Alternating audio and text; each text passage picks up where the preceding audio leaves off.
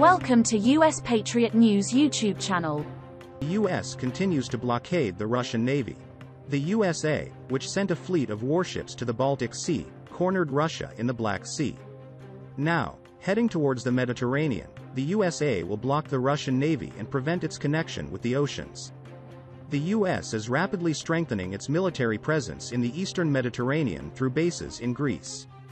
Finally, it has been announced that 10 F-35s and 14 F-15 fighter jets will be sent to the base in Suda Bay on the island of Crete.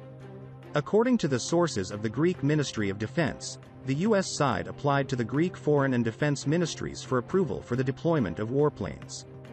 500 pilots and technicians will accompany the planes, which are scheduled to arrive at the base in the second half of July.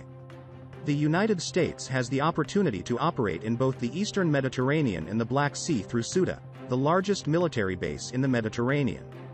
The military base, located in Suda Bay, west of Crete Island, was among the bases where the strengthening of the American military presence was envisaged within the framework of the Mutual Defense and Cooperation Agreement between the USA and Greece, which was updated last October. The U.S. has invested tens of millions of dollars in the modernization of the base in Suda in recent years. The two countries agreed to extend the MDCA for another five years.